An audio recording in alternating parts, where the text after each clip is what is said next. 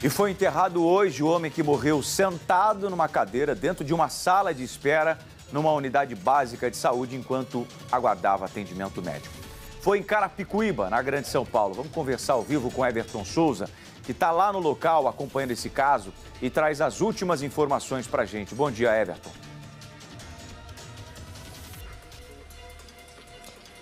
Oi, Dalisson. Um ótimo dia para você, para todo mundo que está acompanhando a gente aqui no Primeiro Impacto em todo o Brasil. Sérgio Pedro da Silva, 50 anos de idade, foi enterrado nesta manhã aqui no cemitério em Carapicuíba, na Grande São Paulo. Ele foi enterrado às oito e meia da manhã aqui, depois de ter sido internado em uma, um pronto atendimento, pronto atendimento da Coab 2 aqui em Carapicuíba.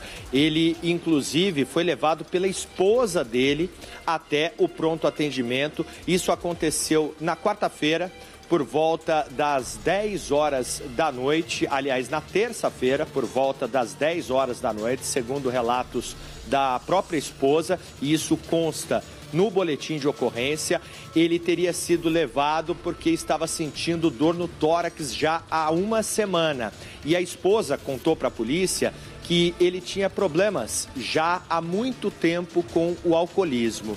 E depois desse atendimento, ele chegou no pronto atendimento por volta das 10 horas da noite, às 2 horas da madrugada, segundo a esposa, ele teria recebido alta, mas ele ficou lá até às 7 horas da manhã. O hospital enviou uma nota dizendo que ele não recebeu alta. Ele passou por um atendimento com clínico geral e também com psiquiatra. E depois desse atendimento, ele teria que aguardar para realizar novos exames. Pessoas que passavam pelo local, segundo os familiares, viram ele sentado. Ele estava de boné, sentado, encurvado e aguardando ali no hospital, é, justamente na sala de espera.